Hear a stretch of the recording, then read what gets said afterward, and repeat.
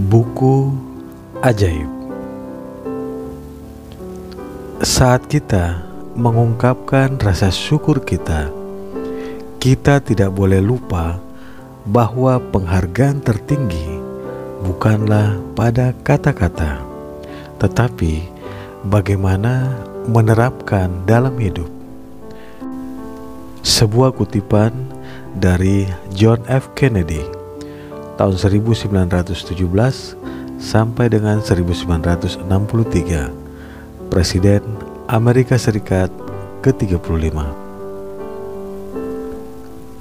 Dalam buku ini terdapat 28 latihan ajaib yang dirancang khusus sehingga Anda dapat mempelajari cara menggunakan daya ajaib dari syukur untuk merevolusi kesehatan, uang, pekerjaan, dan relasi Anda, dan menjadikan hasrat terkecil dan impian terbesar Anda terwujud. Anda juga akan mempelajari cara mempraktekkan syukur untuk mengatasi masalah dan mengubah setiap situasi negatif. Anda akan takjub saat membaca pengetahuan yang mengubah hidup ini, tetapi Anda mempraktekkan apa yang Anda pelajari. Pengetahuan akan lolos dari jari-jari Anda, dan peluang yang telah Anda tarik untuk mengubah hidup Anda akan lenyap. Untuk memastikan ini tidak terjadi pada Anda, Anda perlu melatih syukur selama 28 hari agar meresap ke dalam sel-sel dan akal bawah sadar Anda. Hanya dengan cara itulah pengetahuan itu akan mengubah hidup Anda secara permanen. Latihan ini dirancang untuk diselesaikan dalam 28 hari berturut-turut. Ini memungkinkan Anda menjadikan syukur menjadi kebiasaan dan cara hidup yang baru. Mempraktikkan syukur dengan konsentrasi penuh selama 28 hari berturut-turut akan memastikan Anda melihat keajaiban terjadi di dalam hidup Anda dengan cepat. Di dalam setiap latihan ajaib terkandung kekayaan ajaran rahasia yang akan memperluas pengetahuan Anda dengan luar biasa.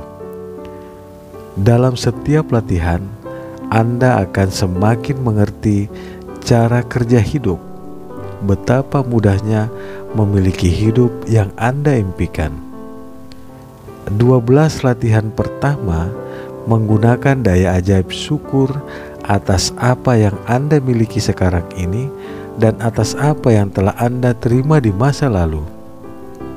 Karena hanya dengan bersyukur atas apa yang Anda miliki dan apa yang telah Anda terima, keajaiban akan bekerja dan Anda akan menerima lebih banyak.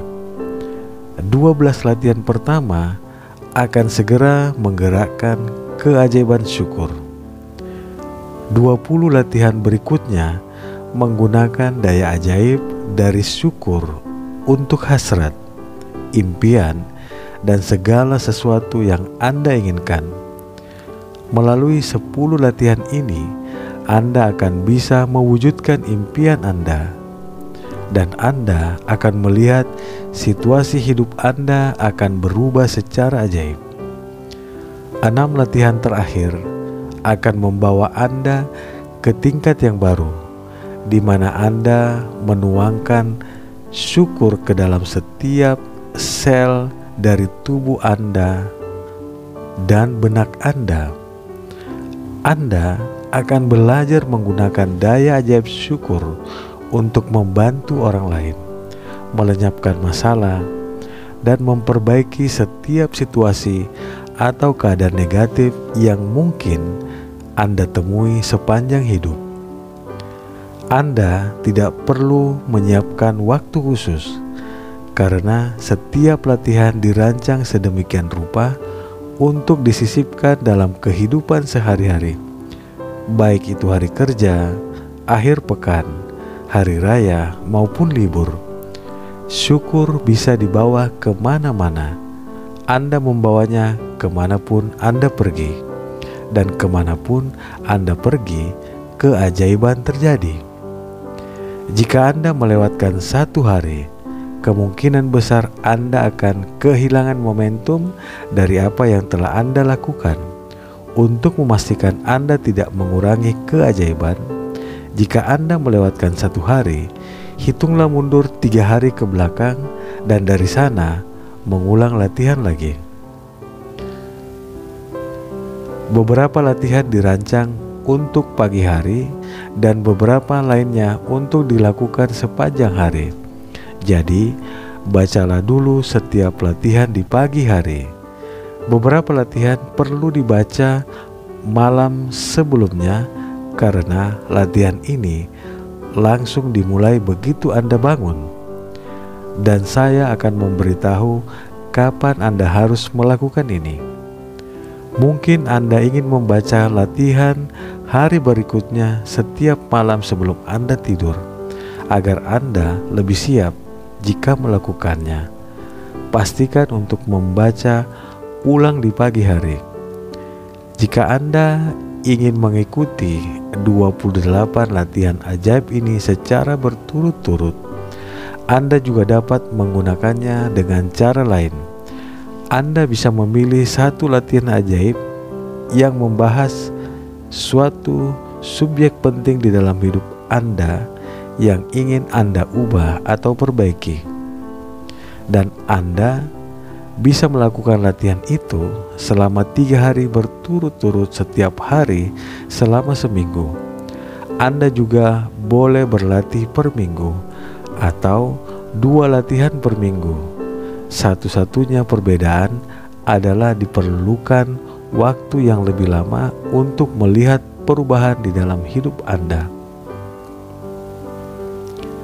Setelah 28 hari Setelah menyelesaikan 28 latihan ajaib Anda dapat menggunakan latihan tertentu untuk meningkatkan keajaiban pada bidang tertentu atau ketika Anda mempunyai kebutuhan khusus Misalnya untuk kesehatan atau uang Atau jika Anda ingin menerima pekerjaan impian memiliki peningkatan keberhasilan di dalam pekerjaan atau meningkatkan relasi atau untuk melanjutkan latihan syukur.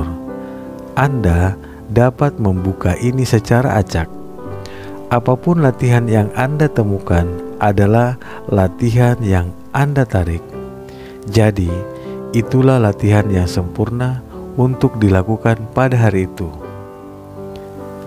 Di akhir 28 latihan ajaib juga terdapat anjuran latihan yang dapat Anda gunakan dalam kombinasi yang akan mempercepat keajaiban di area-area tertentu dalam hidup Anda.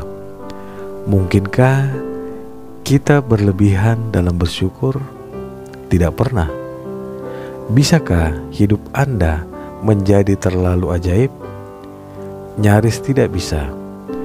Gunakan latihan-latihan ini berulang-ulang agar syukur meresap ke dalam kesadaran Anda dan menjadi bagian dari diri Anda.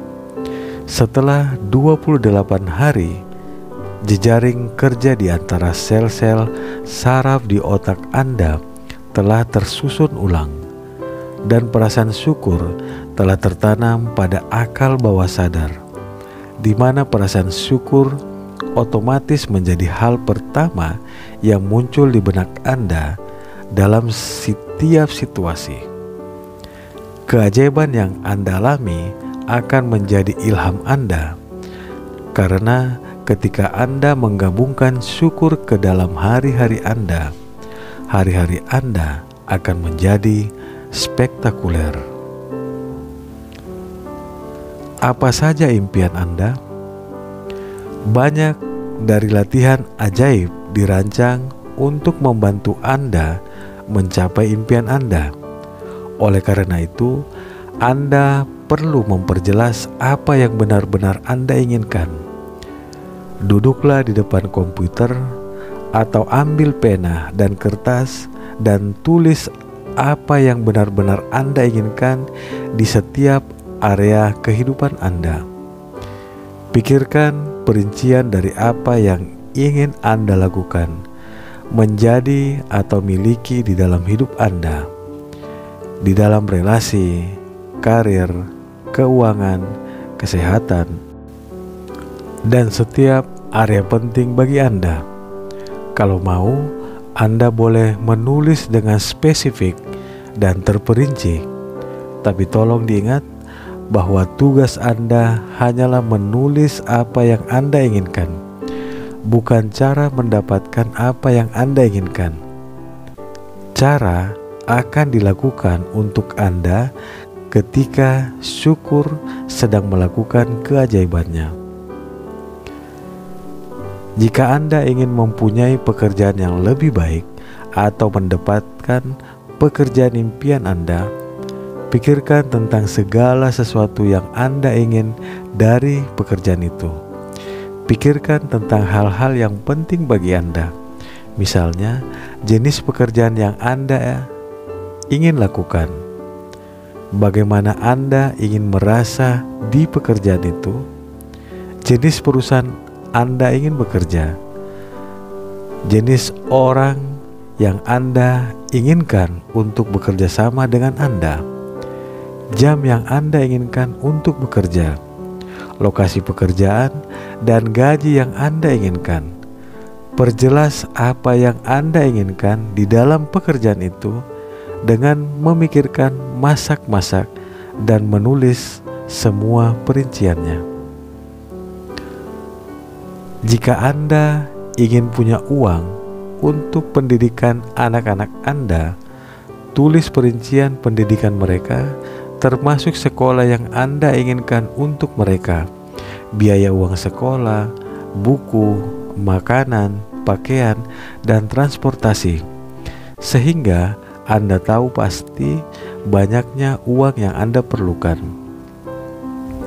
Jika Anda ingin bepergian, tulislah perincian negara-negara yang ingin Anda kunjungi, berapa lama Anda ingin pergi, apa yang ingin Anda lihat dan lakukan, di mana Anda ingin menginap, dan alat transportasi yang ingin Anda pakai. Jika Anda menginginkan pasangan yang sempurna, tulis setiap perincian karakteristik yang Anda ingin dari orang itu. Jika Anda ingin meningkatkan relasi, tulis relasi yang ingin Anda tingkatkan dan seperti apa relasi yang Anda inginkan. Jika Anda ingin lebih sehat atau meningkatkan kondisi tubuh, secara spesifik tulislah apa yang ingin Anda tingkatkan dari kesehatan atau tubuh Anda. Jika Anda menginginkan rumah impian, tulis setiap perincian yang Anda inginkan dari rumah itu. Ruangan demi ruangan jika ada benda tertentu yang Anda inginkan, misalnya mobil, pakaian, atau peralatan, tulislah. Jika Anda ingin mencapai prestasi tertentu, misalnya lulus ujian, mendapat gelar tertentu, sasaran dalam bidang olahraga, sukses sebagai musisi, dokter, penulis, atau aktor, ilmuwan, atau pebisnis, atau apa pun yang ingin Anda capai tulislah dan tulis sespesifik mungkin. Saya sangat menganjurkan Anda meluangkan waktu untuk terus membuat daftar impian di sepanjang hidup. Tulislah hal-hal kecil, hal-hal besar, atau apa yang Anda inginkan saat ini, bulan ini, atau tahun ini. Saat Anda terpikir lebih banyak hal, Tambahkan hal-hal itu ke dalam daftar dan saat Anda menerimanya, coretlah hal-hal itu dari daftar. Cara mudah membuat daftar dari apa yang Anda inginkan adalah membaginya ke dalam kategori-kategori. Satu, kesehatan dan tubuh. Dua, karir dan pekerjaan. Empat, uang. Lima, relasi. Enam, hasrat pribadi. Tujuh, benda-benda materi. Lalu tambahkan hal-hal yang Anda inginkan ke dalam setiap kategori. Ketika Anda memperjelas hal-hal yang Anda inginkan, anda memberi petunjuk yang pasti kepada daya ajaib dari syukur tentang bagaimana Anda menginginkan mereka mengubah hidup Anda, dan Anda siap untuk memulai petualangan yang paling menyenangkan dan menggembirakan yang pernah Anda alami.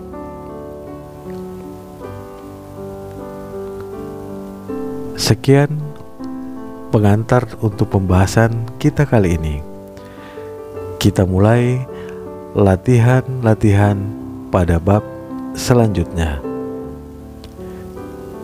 Salam sehat, sukses, penuh kebahagiaan.